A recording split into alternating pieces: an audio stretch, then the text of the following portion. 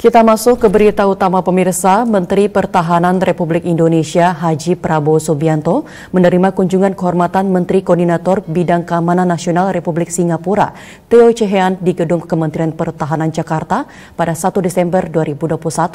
Kunjungan kehormatan ini membahas perkembangan strategis kawasan dan hubungan kerjasama antara Indonesia dan Singapura.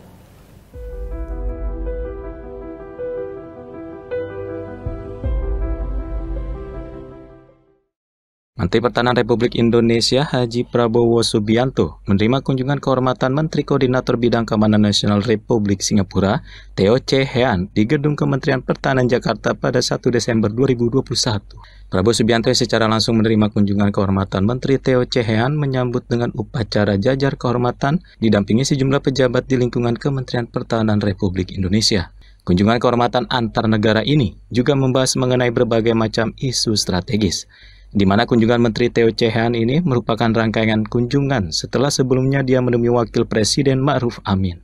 Pertemuan Menhan Prabowo Subianto dengan Menko Bidang Keamanan Nasional Republik Singapura, Teo Chehan juga untuk memperkuat rencana kerjasama Indonesia dengan Singapura. Indonesia dan Singapura diketahui dalam bidang pertahanan terdapat saling ketergantungan karena letak posisi geografis dan perkembangan lingkungan strategis kawasan, sehingga kemitraan bilateral perlu dipertahankan. Pemirsa di hari yang sama, Menteri Pertahanan Republik Indonesia Haji Prabowo Subianto juga menerima kunjungan kerja atas Pertahanan Australia Brigadir Justin Rocky di Kementerian Pertahanan Jakarta pada 1 Desember 2021. Dalam kunjungan tersebut, Prabowo Subianto dan Brigadir Justin membahas sejumlah hal yang terkait dengan peningkatan hubungan pertahanan Indonesia dan Australia.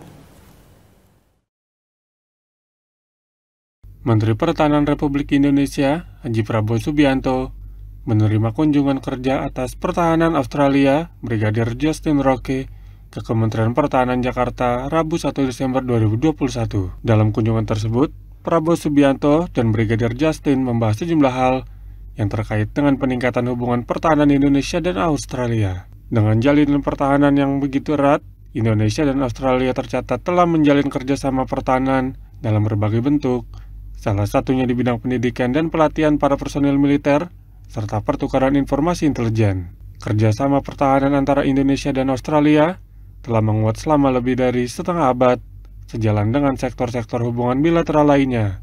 Kerjasama tersebut sangat produktif dan saling menguntungkan kedua negara dalam banyak hal. Tidak hanya itu, sebagai negara bertetangga, Indonesia dan Australia juga memiliki perhatian yang sama atas sejumlah isu yang tengah berkembang di kawasan.